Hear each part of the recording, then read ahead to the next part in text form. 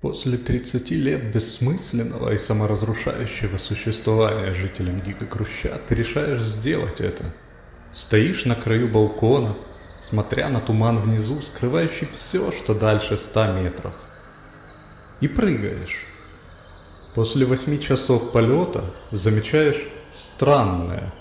Людей на балконах и в окнах все меньше, а те, которые остались, выглядят все более напуганными. Спустя мгновение до тебя доносятся звуки сирены самосбора, хотя ты давно перестал бояться его. Но по всему твоему телу пробежал холодок. Через два часа сирена уже была отчетливо слышна, а люди в окнах теперь попадаются раз в 50 метров. На их лицах написаны ужас и отчаяние.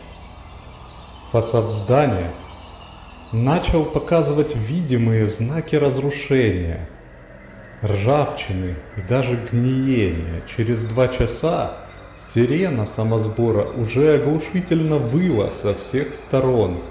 Людей в окнах заменили отвратительные твари, смотрящие широко открытыми глазами на проносящуюся мимо человеческую тушу. Разрушенный фасад начал чередоваться с красно-черной органической субстанцией, источающей фиолетовый дым. На этаже, где фасад здания был полностью разрушен и были видны внутренности жилого блока, высокое многорукое нечто пачками косило ликвидаторов, отрывая тем конечности и головы. Через час сирена смолкла. Туман приобрел фиолетовый окрас. Со всех сторон на тебя смотрели недвижимые, искаженные фигуры самосбора.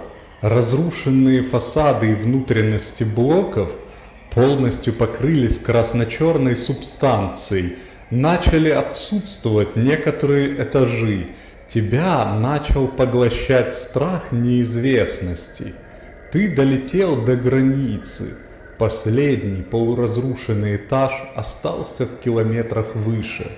Фиолетовый туман постепенно начал рассеиваться. Огромная, многоликая масса в многих километрах внизу была видна.